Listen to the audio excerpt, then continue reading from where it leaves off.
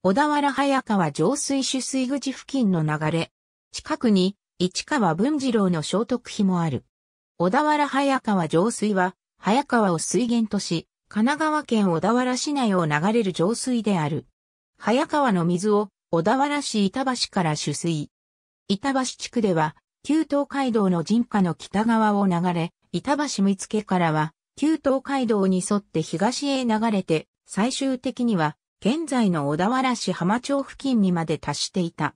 現在、板橋地区に海峡部が見られる他は、ほぼ暗渠となっている。浜町4丁目には、早川上水アートの石踏みが立っている。正確な成立時期は不明だが、北条氏康が小田原を支配した頃に、小田原城下に水を引き入れるために成立したものと考えられている。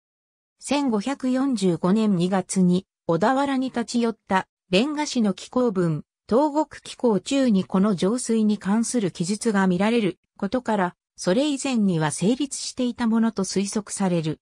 それ以前にこの浄水以外の浄水の成立が日本国内で見られないことから日本最古の水道とされる。なお、取水口のある板橋の地名は、この上水に板の橋がかかっていたところであることに由来する。引用を主とした水道として用いられる。上水からカッコに水を引くために、木製の水道管が用いられ、その水を炭や砂でろ過して使っていたという。木戸井の一部は、小田原市郷土文化館に展示されている。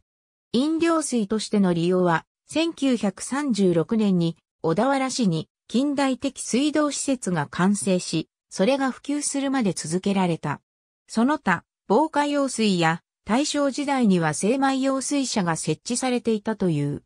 この浄水の故障についてはいくつかあり、小田原市では小田原用水という故障を用いている。しかし、引用に供されたことから、早川浄水、小田原水道といった故障も見られる。本校では、全国版書籍でよく見られる、小田原早川上水を用いる。なお、取水口付近に、小田原市が設置した案内板には、小田原用水との表記が見られる。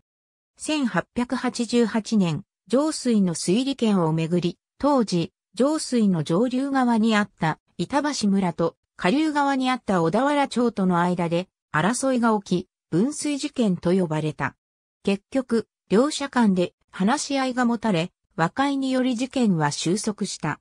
この時、板橋村川の代表として尽力した市川文次郎は、後にこの地にできた大久保村の村長を務めている。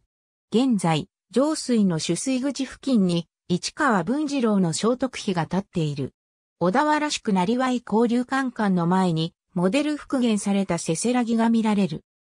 板橋地区の海峡部には現在も水流が見られるが、暗渠となっている小田原市の中心街については、小田原市により、地域や商店街の活性化を目的に、せせらぎとして復元させることが検討され、2001年に小田原市本町の国道1号沿いに開館した小田原市区なりわい交流館という施設の前に一部が廃墟として復元された。石井博文、小田原の郷土史再発見夢工房、2001年。